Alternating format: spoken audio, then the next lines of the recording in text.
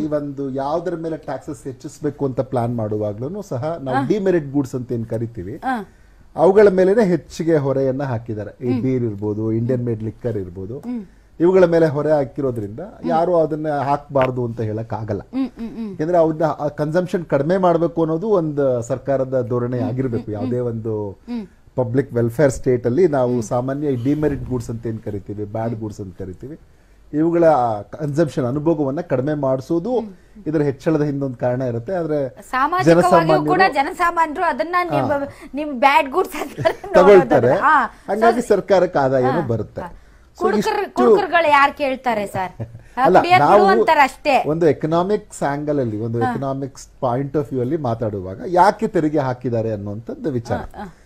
ಇಷ್ಟು ಮಾಡಿರೋದ್ರಿಂದ ನಿಮಗೆ fiscal deficit two point six percent two point seven percent ಆದ್ರೆ ನಿಮಗೆ it is fairly a very good budget ಅಂತ ಕಾಣುತ್ತೆ. ಬಟ್ ಒಂದ್ ವೇಳೆ ನಮ್ಮದು ಟಾರ್ಗೆಟ್ ಅಲ್ಲಿ ಏನಾದ್ರೂ ಹೆಚ್ಚು ಕಮ್ಮಿ ಆದ್ರೆ ಅಂದ್ರೆ ಎಕ್ಸ್ಪೆಕ್ಟೇಷನ್ಸ್ ಯಾವಾಗಲೂ ಏನಂತಂದ್ರೆ ಇದು ನಾವು ಒಂದು ಏಳೆಂಟು ಈಗ ಒಂದು ವರ್ಷಕ್ಕೆ ಬರದೇ ಇರೋದ್ರಿಂದ ಒಂದು ಎಂಟೊಂಬತ್ತು ತಿಂಗಳಿಗೆ ನಾವು ಮುಂದೆ ಇಟ್ಕೊಂಡಿರ್ತೀವಿ. ಸೇ ರಿಸೆಷನ್ ಟೆಂಡೆನ್ಸೀಸು ಮತ್ತೊಂದು ಬೇರೆ ದೇಶದ ಏನೋ ಪ್ರಾಬ್ಲಮ್ ಆಯ್ತು ಹಿಂಗೇನಾದ್ರು ಆದ್ರೆ ಆಗದೆ ಇರ್ಲಿ. ಏನೋ ಆಗದೆ ಇರ್ಲಿ. ಬಟ್ ಏನಂದ್ರೆ ಈಗ the only certainty is uncertainty ಅಂತ ಎಕನಾಮಿಕ್ಸ್ ಅಲ್ಲಿ ನಾವು ಹೇಳ್ತಿರ್ತೀವಿ.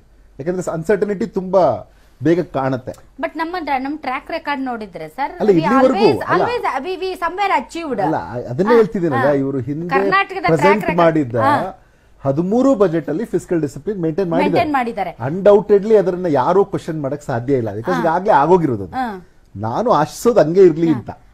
ಬಟ್ ಏನಂದ್ರೆ ಇಫ್ಸ್ ಅಂಡ್ ಬಟ್ಸ್ ಅಂತ ಯಾಕೆ ಬೆಳೆಸ್ತೆ ಅಂದ್ರೆ ಒಂದ್ ವೇಳೆ ಹಂಗಾಗದೇ ಇದ್ರೆ ನಮ್ ಫಿಸಿಕಲ್ ಡೆಫಿಸಿಟ್ ಜಾಸ್ತಿ ಆಮೇಲೆ ಸರ್ ಆಮೇಲೆ ಸರ್ ಈಗ ಈಗ ನೋಡಿ, ಈಗ ಒಂದು ರೂಪಾಯಿಯಲ್ಲಿ ಎಲ್ಲೆಲ್ಲಿಂದ ಎಲ್ಲೆ, ಎಲ್ಲೆಲ್ಲಿಂದ ಎಷ್ಟೆಷ್ಟು ಭಾಗ ನಾವು ಎಕ್ಸ್ಪೆಕ್ಟೇಷನ್ ಇದೆ ಅಂತ ಅವ್ರು ಹೇಳ್ತಾ ಇರೋದ್ರ ಪ್ರಕಾರ